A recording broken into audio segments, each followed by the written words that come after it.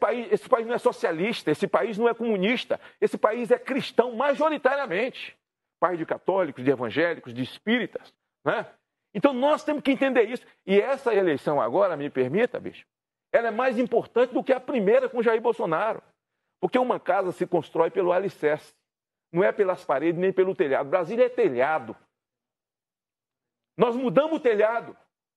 Agora nós temos que fazer boas câmaras de vereadores. Eu quero fazer um pedido a você. Você é cristão, você é conservador, você viu o impeachment, você torceu, você orou, você apoia o presidente Bolsonaro, você foi para a rua ajudar a elegê-lo. E agora?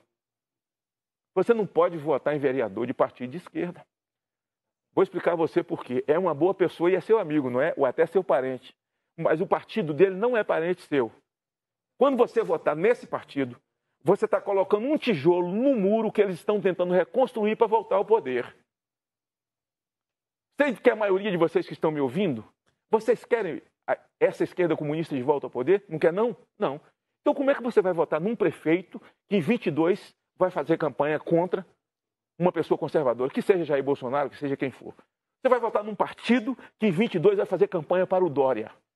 Então você está fortalecendo, porque todos eles são comunistas. Fernando Henrique, o ícone, o, o emplumado tucano do, do, do PSDB, é, é, é, é, ateu, ele é ateu. Né? Você vai colocar um tijolo? Você vai eleger esse prefeito que fechou sua igreja? Que tirou de você a oportunidade de ir para o culto? Que prendeu o padre da sua paróquia porque estava fazendo uma missa online? Prendeu o padre por quê? Quebrou o comércio, quebrou o salão da sua mãe, quebrou a empresinha de ônibus do seu pai, quebrou sua padaria, seu salão de beleza. Você vai repetir? Então é o seguinte, é um conselho a você. Eu sou conservador e eu sou um homem depurado.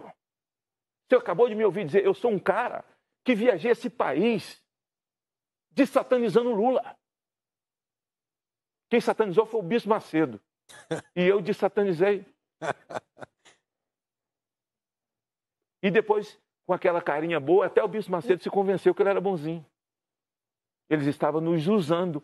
Mas agora todos nós sabemos. A rede social chegou, a internet chegou.